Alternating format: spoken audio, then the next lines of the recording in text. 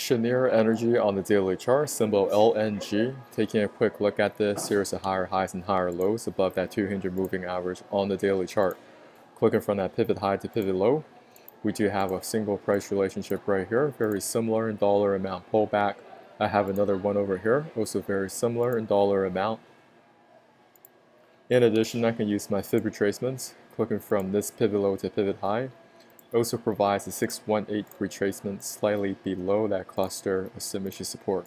Jumping on the hourly chart, price is also trading nicely above that 200 moving average. We do have earnings that's coming up as well. We're in a strong sector on a 15 minute time frame.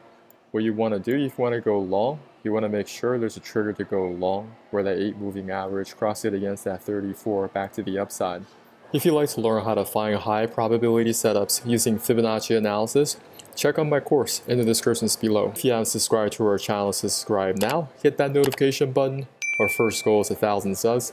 We go over cryptocurrencies as well as US equities. Love to hear from you in the comments area. Talk to you soon.